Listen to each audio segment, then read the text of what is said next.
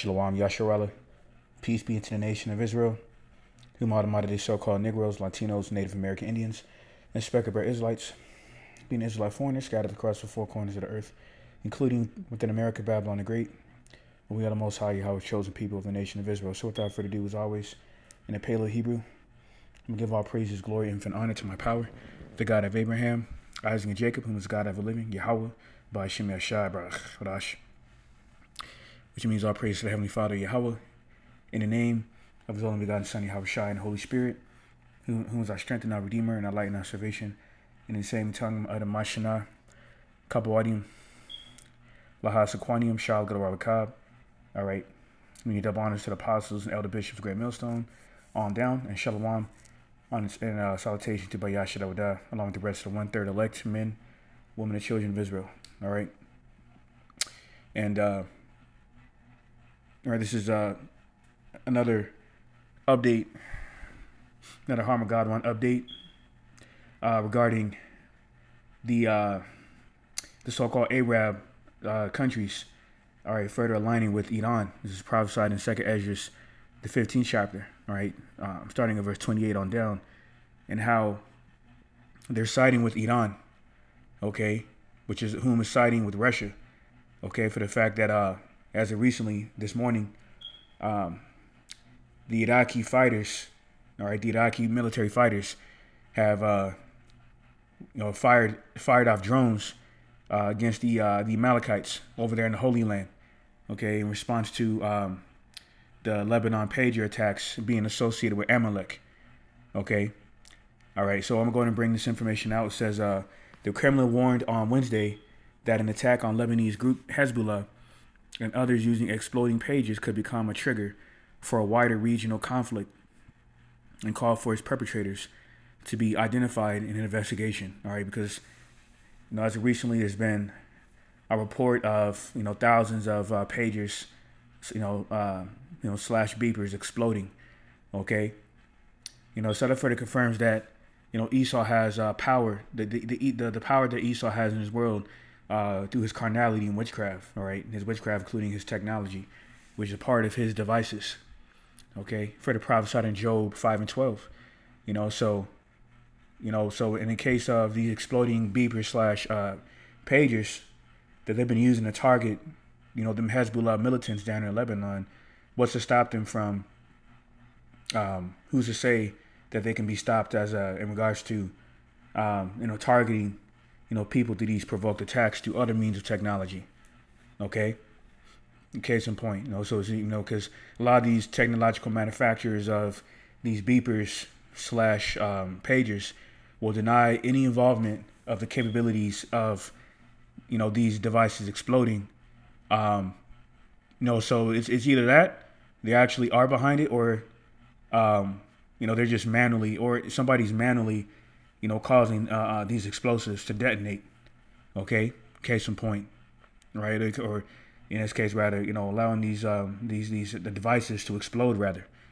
Okay, you know, so um, you know, this is this is a further part of the witchcraft Edomites, all right, being exposed where the world has become more privy to your devices, and this is why, you know, these certain sovereign nations are teaming up to destroy you, or including these um, uh, so-called uh, Muslim nations Okay, even those who, you know, were you know were in bed with you at one point, you know, geoeconomically and geopolitically speaking, even uh, geomilitarily. All right, but now you just see that you're out of control. You're you know because you're you're uh you're you're a tyrant. All right, and if you're not good to yourself, what good what good can you do to anybody else? Roughly paraphrasing Sirach 14 and 5. And this is why, um, pursuing Jeremiah 51 and 7 on down, more of these uh, other uh, sovereign heathen nations are rejecting your wine, your your wine of fornication, being your Western philosophy, and that's eventually going to lead into a full fledged war. So this is um, Job five and twelve. Says, "He disappointed the devices of the crafty, so that their hands cannot perform their enterprise." All right, your enterprise is your counsel. Okay, something that lifts you up, something that exalts you. When you look up the, the etymology of the word, and uh, the Hebrew word for device is mazamah, as a wicked inventions, okay, or wicked invention, including all your many wicked inventions through your uh, your media, your Western media outlets, okay, in which you, you control about 96% of them globally, further, you know, and thus, you know, controlling the narratives, you know, uh, to further justify your satanic NWO agenda, all right, along with your technology, it's a part of your technocracy, all right, which is part of your Hegelian dialectic, all right, to create the problem, present the solution to sustain order through that uh, MOTB implant, that grain and rice device, which is, you know, which is you know which, which is you know, what this is all about. All right, uh, justifying the rolling out of this uh, grain and rice device. So we're not ignorant of, you, of, of your devices. All right. So uh, I'm going to grab Psalm 33 and 10. It reads, The Lord Yahweh by Shah bring the counsel of the heathen to naught. He maketh the devices of the people of none effect.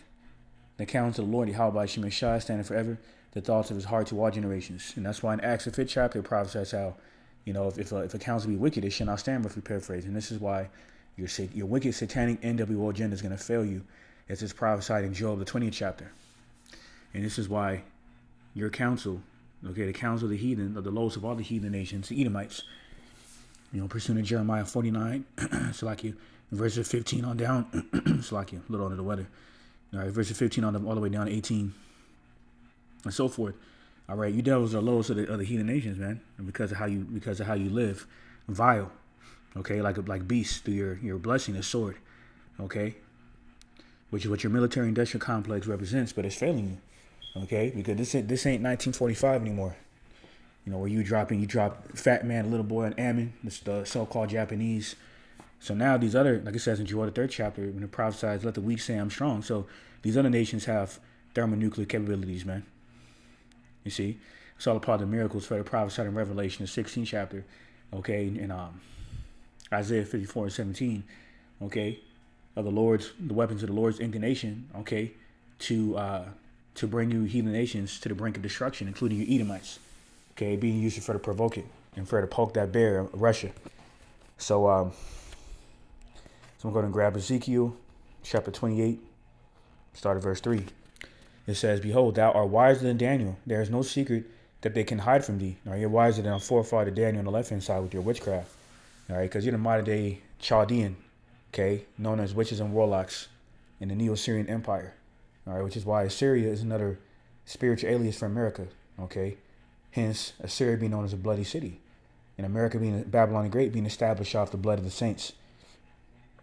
So it says in um, Ezekiel 28 and 4, With thy wisdom, with thy understanding, thou hast gotten thee riches, and hast gotten gold and silver into thy treasures. All right?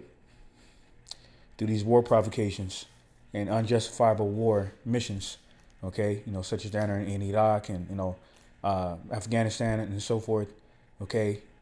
you know, where you were supposedly fighting the war of terrorism, but you're actually over there um, looking to steal drugs through the opium, okay, uh, the opioid fields, the oil, the gold, all right? And that's why he took out uh, Gaddafi, okay? Case in point, of Libya, all right? You know, through intelligence agencies and so forth, man. So you devils have been exposed, all right? This is uh, verse 5. By thy great wisdom and by thy traffic, Has I increased thy riches, and thine heart is lifted up because of thy riches. Therefore, thus said the Lord Yahweh, because thou hast set thine heart as the heart of the Most High. Behold, therefore I will bring strangers upon thee, the terrible of the nations, and they shall draw their swords against the beauty of thy wisdom, and they shall defile thy brightness, which is your, which is symbolic of your your wisdom, wisdom, knowledge, understanding. You know, hence why the parable in Isaiah 14 of Lucifer is referring to you devils, man you illuminated ones, you international crime banking families, but it's over. Okay? It's over for you devils, man. All right?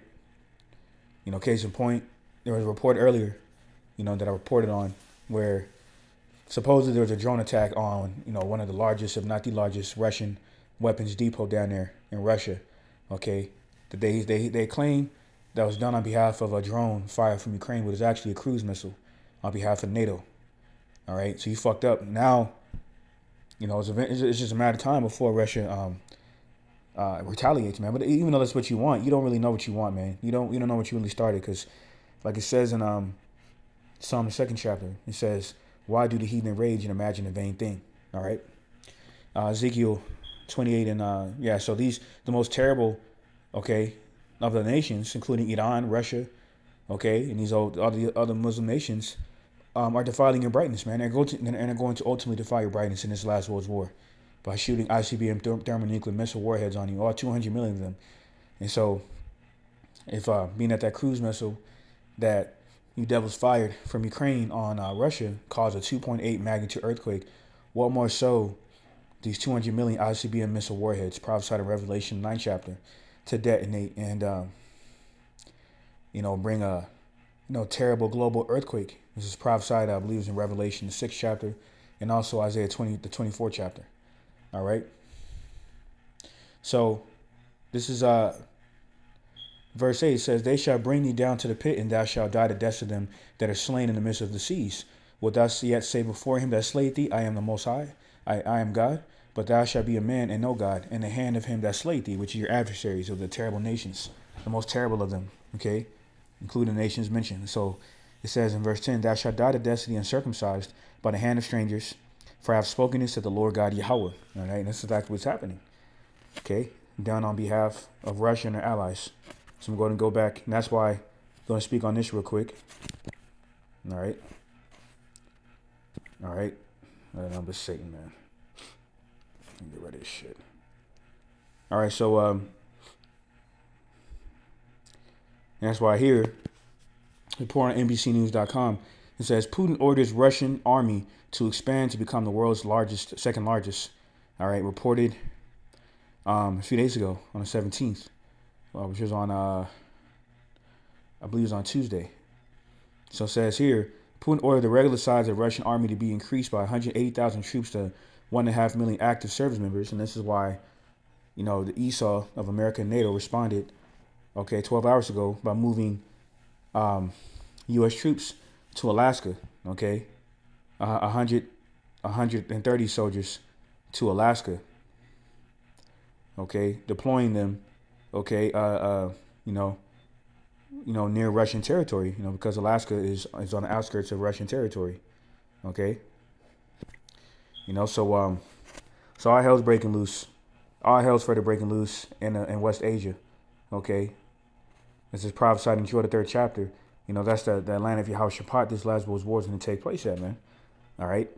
So it's not a coincidence that, you know, um, it was reported that Iraqi uh, militiamen, you know, had a, uh, you know, you know, attacked um, Amalek with a drone. Okay, because they're standing with uh, Iran and Russia. All right, so um, says Tuesday the attack saw thousands of pagers detonate across Lebanon, eliminating nine people and wounding nearly 30, uh, 3,000 others, including the group's fighters and Iran's envoy to Beirut. All right. So a senior Lebanese security source and another source told Reuters that Israel's Mossad spy agency planted explosives inside 5,000 pagers imported by Lebanese group Hezbollah months before Tuesday's detonations. All right.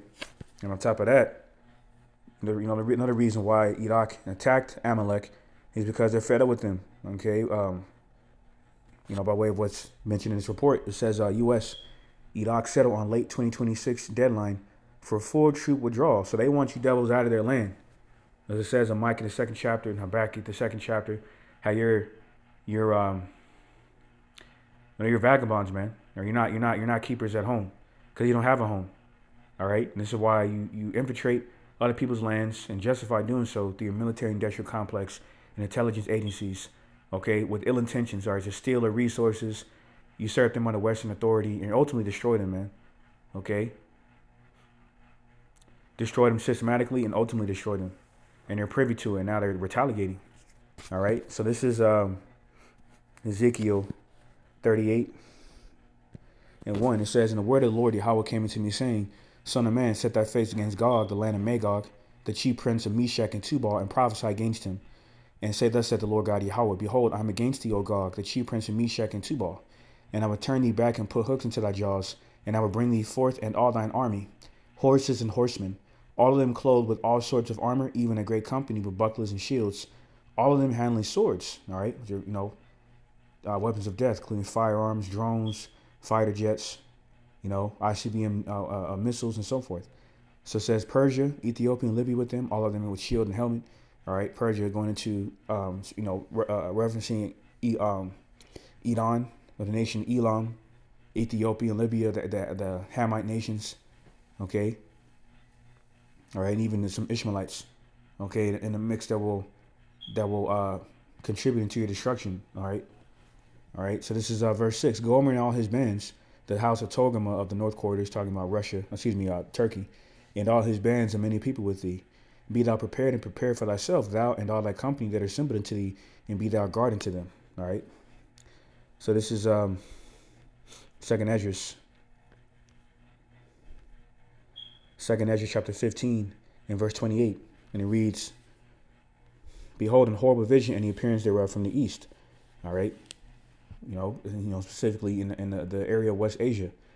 Okay, around these so-called Muslim nations, around the Euphrates River, all right, the Tigris River, all right, the Persian Gulf, and, um, and so forth. It says, Where the nations of the dragons of Arabia shall come out with many chariots, and a multitude of them shall be carried as a wind upon earth, that all they which hear them may fear and tremble. All right, and the dragons of Arabia are these so called Muslim nations. Verse 30 says, Also the Carmanians raging in wrath shall go forth as the wild boars of the wood, and with great power shall they come and join battle with them, and shall waste a portion of the land of, of the Assyrians. All right, in the context of prophecy, modern day Assyrians are, are um, you know, uh, is, is a reference to the American Empire. Babylon the Great says in verse 31 And then shall the dragons have the upper hand, remembering their nature, and if they shall turn themselves, conspiring together in great power to persecute them, then these shall be troubled bled, and keep silence through their power, and shall flee. And from the land of the Syrians shall the enemy besiege them, and consume some of them, and in their host shall be fear and dread and strife among their kings.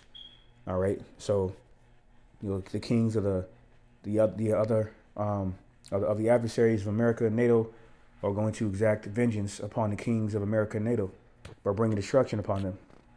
Okay, aiming for the NATO military 800 to 800 plus military NATO military bases, and then eventually aiming for the source, and that's America Babylon the Great, which is going to happen in the near future, man.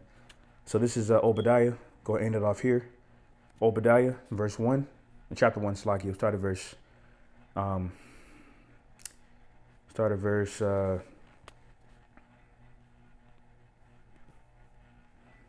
Start at verse 3. The pride of thine heart hath deceived thee, thou that dwellest in the cleft of the rock, whose habitation is high, that saith in his heart, Who shall bring me down to the ground? Though thou exalt thyself as the eagle, and though thou set thy nest among the stars, thence will I bring thee down to the Lord Yahweh by Shem Shai. All right, and the eagle represents vileness. Okay, the fowler. Okay, pursuing Psalm the 91st chapter, referring to Edomites. Okay, the vilest and, and most profane of all nations.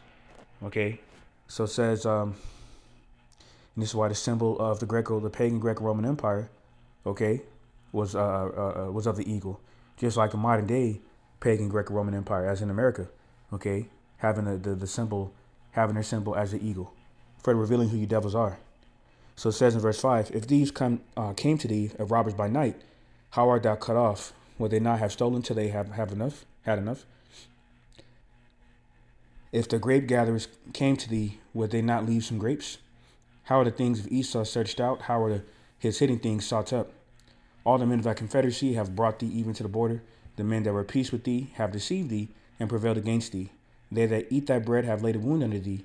There is none understanding in him. All right. So everyone who is once, uh, you know, a conglomerate partner of yours through these international business dealings are going to seek to destroy you in this last world's war. Verse verse eight says, "Shall I not in that day," said the Lord Yahweh by Shem Shai, even destroy the wise men out of Edom, and understanding out of the mount of Esau.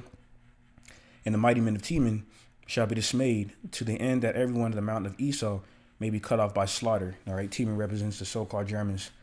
All right, says for thy violence, okay, um, for thy violence, you know, and, and, and you know, because you, you, you so-called Germans were part of that Oppenheimer project, the Manhattan Project, rather, through uh, J. Oppenheimer, and a good number of you so-called Germans okay, are um, integrated within the um, the so-called Amalekite circle, like uh, Klaus Schwab.